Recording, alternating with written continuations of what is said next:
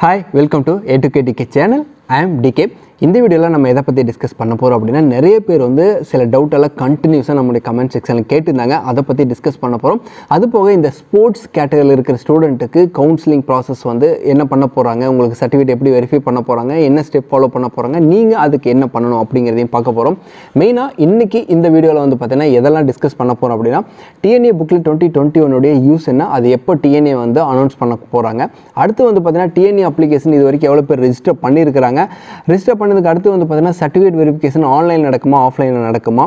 அதுக்கு அடுத்து ப்ளஸ் அதாவது ப்ளஸ் டூ மார்க் ஷீட்டில் அவங்களுடைய சிக்னேச்சர் வந்து பார்த்தீங்கன்னா செல்ஃப் அட்டஸ்டாக கொடுக்காத நிறைய பேர் அப்லோட் பண்ணிட்டாங்க. அப்படி இருந்தால் நம்ம என்ன பண்ணணும்?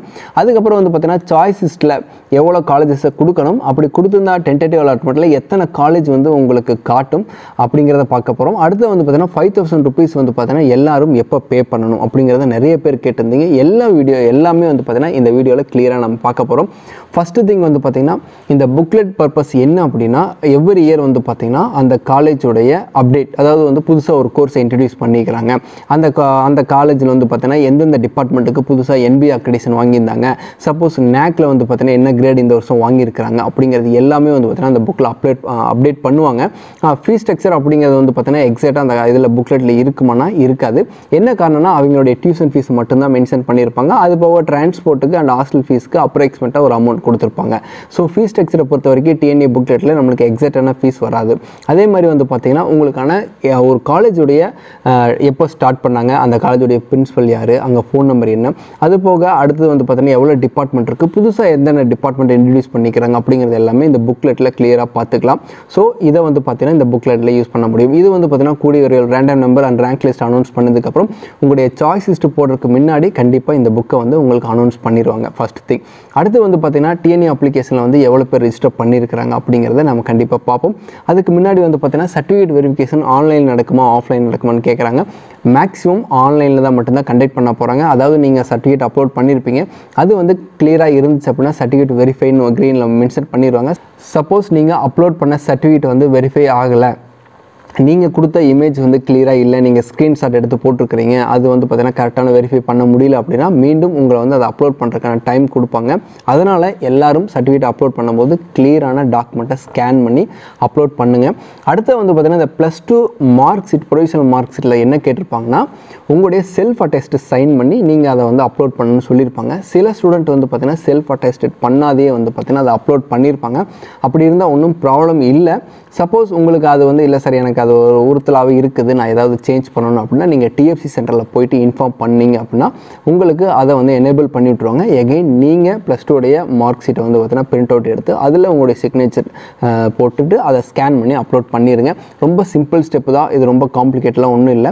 அதனால் அந்த ப்ராசஸை சீக்கிரம் கம்ப்ளீட் பண்ணிடுங்க அடுத்தது வந்து பார்த்தீங்கன்னா அமௌண்ட் வந்து ஃபைவ் தௌசண்ட் எப்போ பே பண்ணணும்னு நிறைய பேர் கண்டினியூஸாக கேட்டுகிட்டே இருக்கிறீங்க. உங்களுக்கு எந்த ரவுண்டில் வரீங்களோ அப்போ நீங்கள் பே பண்ணால் போதும். For example round one process start ஆகுது அப்படின்னா அந்த ரவுண்டு ஒன்ல இருக்கிற ஸ்டூடெண்ட்டு மட்டும் ஃபைவ் தௌசண்ட் அமௌண்ட்டை பே பண்ணால் போதும்.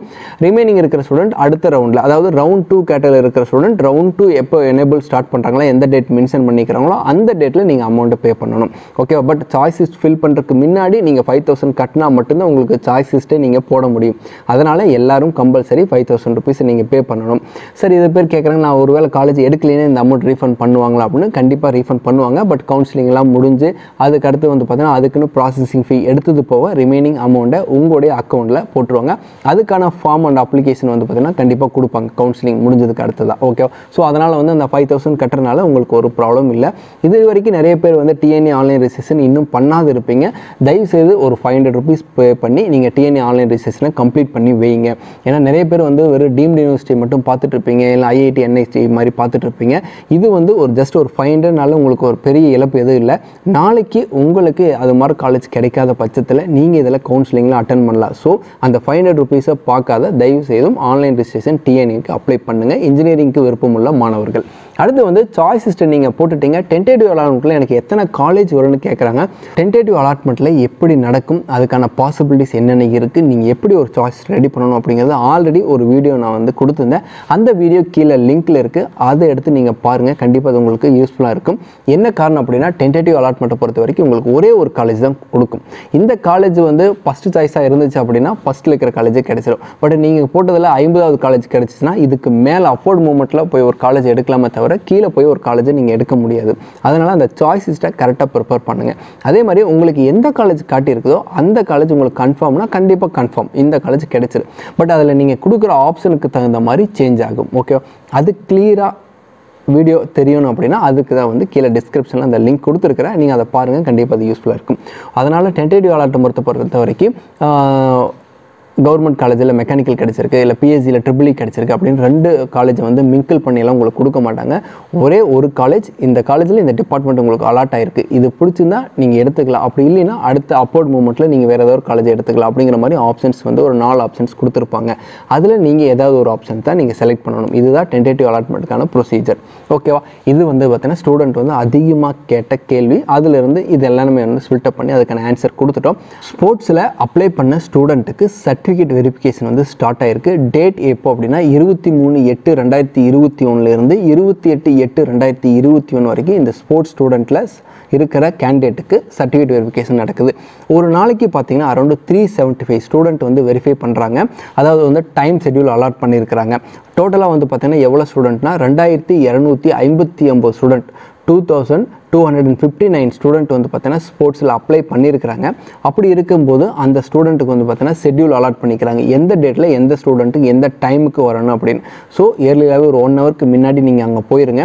எல்லாத்துக்கும் வந்து பார்த்தீங்கன்னா ஒரே சென்டர் தான். அந்த சென்டர் வந்து பார்த்தீங்கன்னா உங்களுக்கு மென்ஷன் பண்ணிட்டாங்க. சென்ட்ரல் பாலிடெக்னிக் ஓகேவா இங்கே தான் வந்து பார்த்தீங்கன்னா தமிழ்நாட்டில் இருக்கிற எல்லா ஸ்டூடெண்ட்டும் போய் உங்களுடைய சர்டிஃபிகேட்டை வெரிஃபை பண்ணணும்.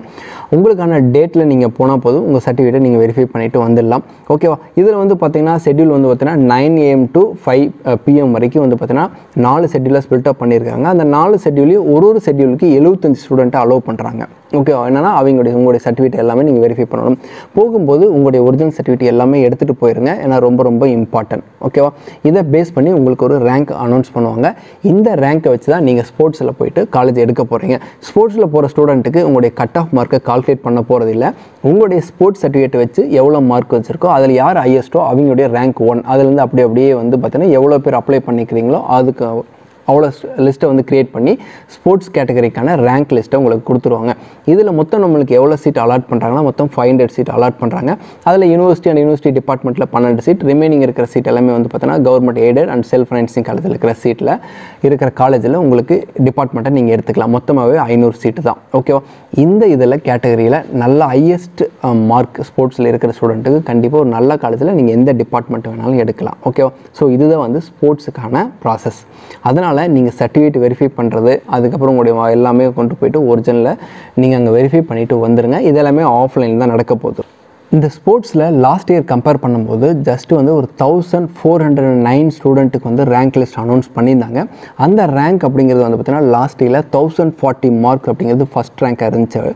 அதே கடைசி மார்க் அப்படிங்கிறது ஃபைவ் மார்க் ஓகேவா ஸோ டோட்டலாக வந்து thousand four hundred nine student வந்து ஸ்போர்ட்ஸ் கேட்டகரியில் ரேங்க் லிஸ்ட்டில் வந்திருந்தாங்க. பட் அதில் வந்து பார்த்தீங்கன்னா மொத்தம் ஃபைவ் ஹண்ட்ரட் காலேஜஸ் மட்டும்தான் உங்களுக்கு அதாவது வந்து ஐநூறு சீட் மட்டும்தான் நம்ம அதில் எடுக்க முடியும். ஓகேவா? அந்த ஐநூறு சீட்லேயே வந்து எவ்வளோ பேர் எடுத்திருந்தாங்கன்னா தோராயமாக ஒரு த்ரீ ஃபிஃப்டி ஸ்டூடெண்ட் மட்டும்தான் அந்த காலேஜ் எடுத்திருந்தாங்க. அதே மாதிரி டூ தௌசண்ட் நைன்டீன்லேயும் வந்து பார்த்தீங்கன்னா ஒரு த்ரீ ஃபிஃப்டி சீட்ஸ் தான் வந்து பார்த்தீங்கன்னா ஸ்போர்ட்ஸ் கேட்டகரியில் எடுத்திருந்தாங்க. ஓகேவா?